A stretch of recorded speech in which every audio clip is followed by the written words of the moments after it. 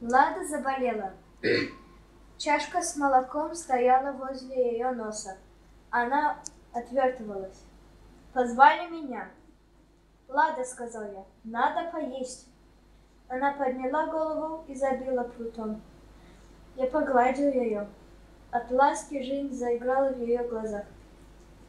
«Кушай, Лада», — повторил я и подвинул блюдце поближе. Она протянула нос к молоку и залакала. Значит, через мою ласку ее силы прибавились. Может быть, именно эти несколько глотков молока спасли ее жизнь.